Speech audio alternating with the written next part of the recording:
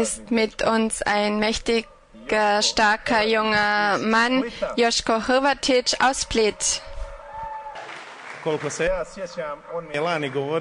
Soweit ich mich erinnere, ähm, hat er mir gesagt, ähm, Pater, sagen Sie das nicht, dass ich Rauschmeißer war, aber ich habe es jetzt gesagt.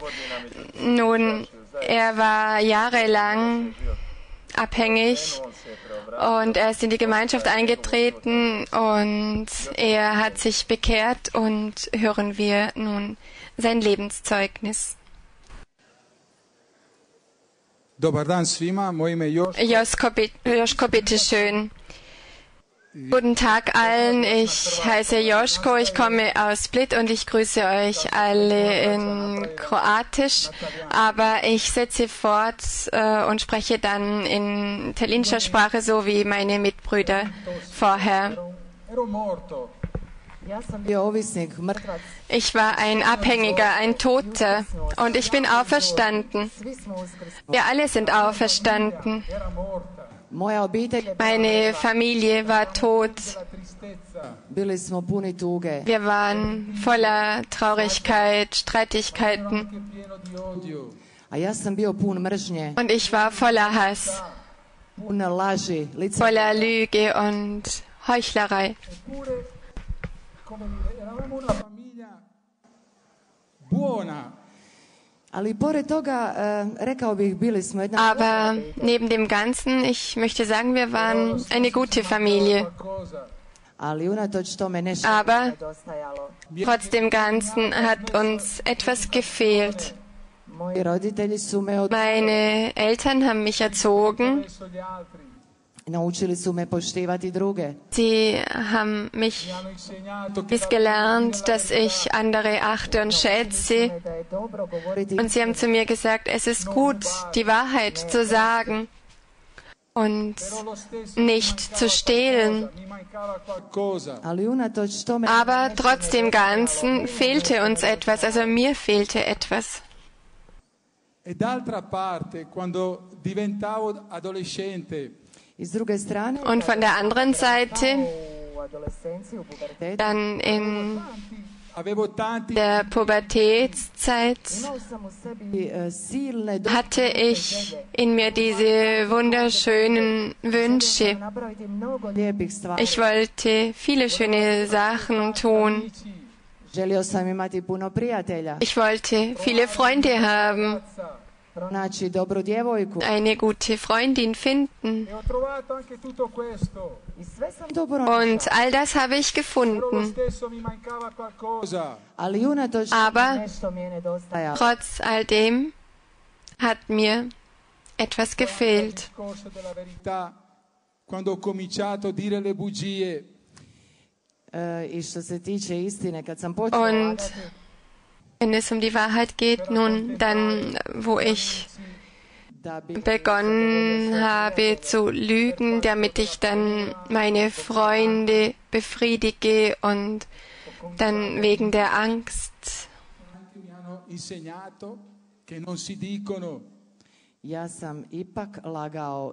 Ich habe doch gelogen, auch wenn sie mich gelernt haben, dass ich nicht lügen soll.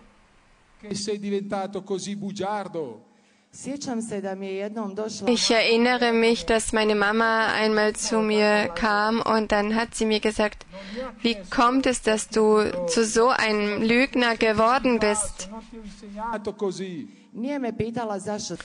Sie hat mich nicht gefragt, weshalb nimmst du die Droge, sondern sie hat mich gefragt, weshalb bist du so lügenhaft? Ich habe dich nicht so gelehrt.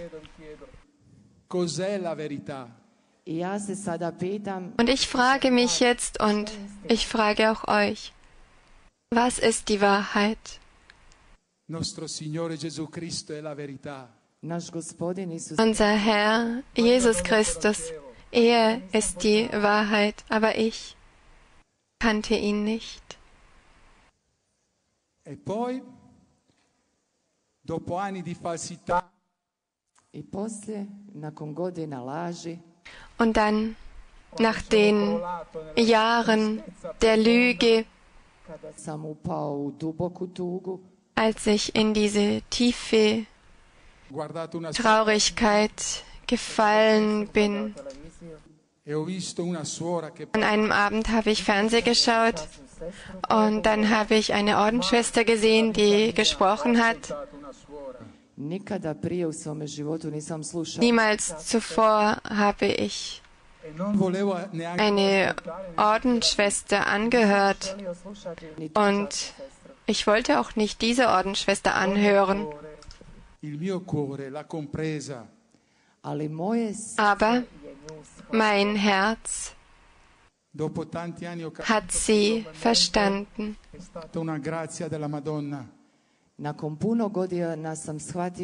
Nach vielen Jahren habe ich verstanden, das war dieser Moment der Gnade, in dem es mir die Mutter Gottes geschenkt hat.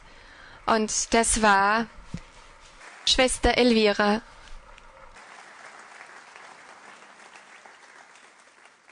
E io dentro io non volevo andare credetemi in nessuna comunità željela Und glauben Sie mir, ich wollte wahrhaftig nicht in irgendeine Gemeinschaft eintreten. Ich wollte dies wahrhaftig nicht. Denn in mir war dieser Stolz und dies hat ständig zu mir gesprochen. Du kommst selbst aus dem Ganzen heraus. Aber trotz dem Ganzen landete ich dann in der Gemeinschaft. Und ich erinnere mich, als ich dann in die Gemeinschaft eingetreten bin, ich erinnere mich an die Augen dieser jungen Männer. Ich erinnere mich an ihr Benehmen und wie sie mich angenommen haben. Und ich erinnere mich an ihre Freundschaft.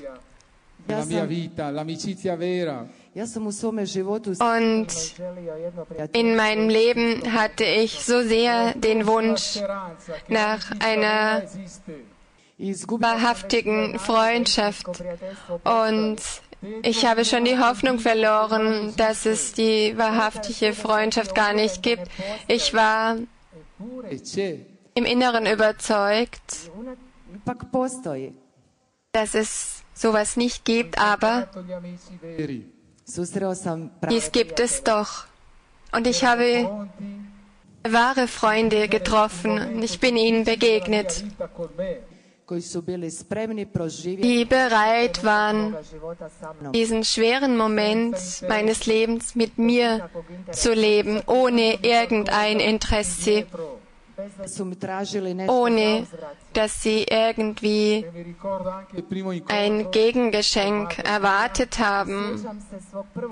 Und ich erinnere mich an die erste Begegnung mit Schwester Elvira. Da war ich erst einen Monat in der Gemeinschaft und sie, sie kam zu mir, sie kam in Begegnung und sie sagte, komm zu mir, komm, wir gehen ein wenig spazieren, wir werden ein wenig zusammen sprechen. Und ich bin mit ihr dann gegangen und sie schaut mich an und sagt, du sprichst Italienisch? Und ich sagte, nein. in inglese i onda sam započeo govoriti Und dann habe ich begonnen, in Englisch zu ihr zu sprechen. con tutto il cuore con tutto perché lei non parla inglese E, Eh, o- quello- e, i ok, ok, ok, ja sam pogriješila. Sure, E, sestra Elvira je, ja sam Entschuldigung, ein Fehler bei der Übersetzung. Also sie wiederholt nochmal. Äh, nicht er, sondern die Schwester Elvira hat begonnen, Englisch zu sprechen, aber äh, ich möchte Gott vermitteln, aber ich äh, kann äh, kein Englisch, aber äh, sie war trotzdem weiterhin beharrlich und ich war sehr beeindruckt von dem Ganzen. Ich war beeindruckt durch die Sprache ihres Herzens.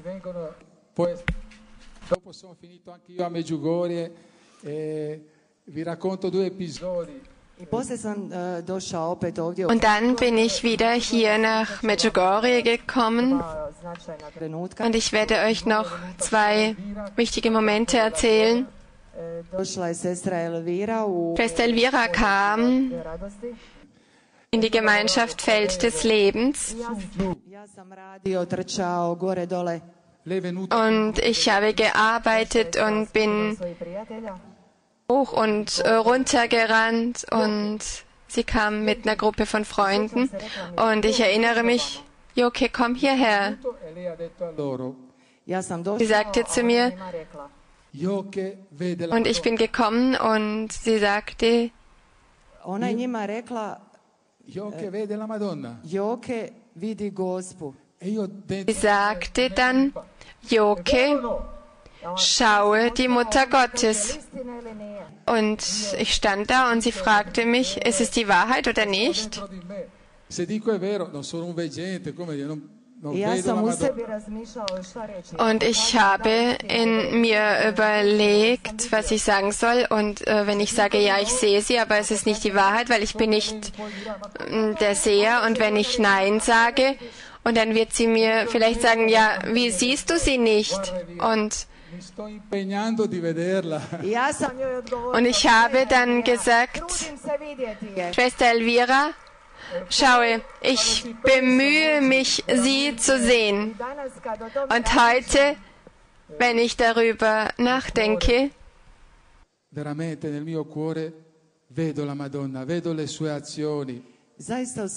wahrhaftig in meinem Herzen kann ich dies sagen, ich sehe die Mutter Gottes, ich sehe ihr Wirken. Ich sehe, was sie alles für mich tut. Per l'umanità. Ich sehe, was sie alles für mich tut, für unsere Gemeinschaft, für die Menschheit. Und ich sehe, dass die Mutter Gottes existiert. Und die zweite Episode, è Malo stata una nakon messa, toga. santa messa da noi. E, misa. dann war eine heilige Messe und dann kurz nach diesem Geschehnis, worüber ich jetzt gesprochen habe, Grazie Signore Gesù perché tante persone mi vogliono bene. I za vrijeme mise ja sam rekla, und während der heiligen Messe habe ich gesagt, Herr Jesus, danke dir, denn viele Menschen lieben mich. Und wir saßen dann am Tisch zusammen beim Mittagessen. Es waren sehr viele am Tisch und dann die Schwester Elvira hat dann in einem Moment vor allen "Joke, jer si uns dies gesagt. Danke dir, Joke, denn du hast uns in die Hände Gottes gelegt, denn wir lieben dich. Aber vergesse dies nicht. Anche tanti ti volevano bene. ne Vergesse nicht, dass auch vorher dich viele geliebt haben. Und du hast trotzdem die Droge genommen. Und sie hatte recht. Und ich, ich danke Gott, der Mutter Gottes und Schwester Elvira und der ganzen Gemeinschaft Cenacolo, di cominciare a amare io, di imparare a amare. denn ich habe die Gelegenheit bekommen, dass ich beginne, dann auch die anderen zu lieben und dass ich erlaube, dass die anderen mich lieben, trotz all dem, was die anderen denken oder sprechen, dass ich gut sein muss und dass ich die Werke der Liebe und der Freundschaft leben muss, mit dem Herzen lieben. Ho avuto opportunità di conoscere, di scoprire con- che con cu- cuore puro si sta bene. Und wahrhaftig, ich möchte Danke sagen, so wie die Mutter Gottes vor einigen Tagen dies gesagt hat in ihrer Botschaft, dass nur mit einem reinen Herzen der Mensch sich gut fühlt. Und im Leben, in der Wahrheit mit sich selbst.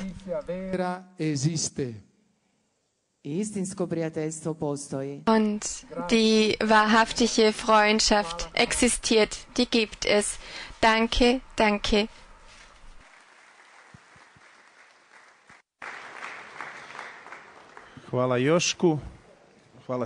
Danke Joschko und danke auch nochmals Schwester Elvira und der Gemeinschaft Cenacolo.